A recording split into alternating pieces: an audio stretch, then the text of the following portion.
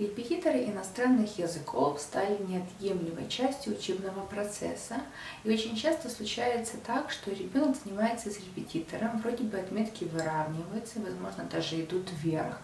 Вот только репетитор уходит, уходит и успех. Какая же причина? Неправильный подход. Какой? Сейчас разберемся. Вы на канале «Польский по полочкам» и с вами онлайн-преподаватель польского языка Варамышина Татьяна. Неправильный подход заключается в том, что цель родителей – это отметки, а не знания в голове. Ну куда же потом с этими отметками, если ребенок ничего не может сказать сам? Если ориентироваться только на выполнение домашнего задания, то получается, что вы платите репетитору, чтобы он делал домашнее задание за вашего ребенка.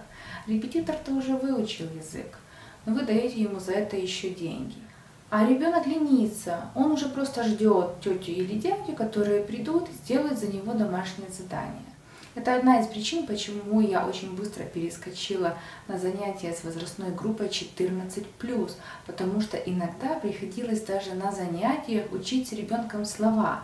Да, бывают сложные, там нужно объяснить, э, сделать какую-то ассоциацию, чтобы ребенок запомнил его, но большинство слов ребенок может выучить самостоятельно, просто умея правильно читать транскрипцию, или можно сделать ему подсказки, транскрипцию на украинском, русском языке. Он может сделать это бесплатно, самостоятельно, дома сам, а родители просто проверить его. Так как эти все вопросы с домашними заданиями просто пожирали время на уроке, детки очень медленно пишут. Они пока перепишут, уже 10 минут пройдет. Но это же можно тоже сделать дома. То так как мы ориентируемся на домашнее задание, мы делаем все идеально, чтобы быть полностью готовыми к уроку. Получается, что и результат не очень-то радует. Как такой ситуации избежать? Лучше всего, чтобы репетитор шел с вашим ребенком по индивидуальной программе. Возьмите топовые учебники иностранного издания, который подходит по возрасту и по уровню знаний для вашего ребенка, и пусть репетитор идет с ним от корки до корки, пройдет хотя бы уровень А1 и А2. И дальше ребенок уже самостоятельно сможет делать домашние задания, а репетитор только сможет быстренько просмотреть, все ли верно, и где-то что-то там поправить или объяснить еще раз материал. Это лучший, более экономный, более мудрый вариант обучения иностранного языка. Если вам все же очень важны домашние задания, тогда можно сделать так. 15 минут репетитор работает с домашним заданием очень быстренько. Э, прописывает, что там надо, объясняет ребенку, как отвечать, когда его будут спрашивать, дает ребенку задание что-то переписать, выучить какие-то слова, родитель потом позже вечером это все проверяет, а остальные 45 минут вы обязательно идете по инт-программе, то есть индивидуальной программе.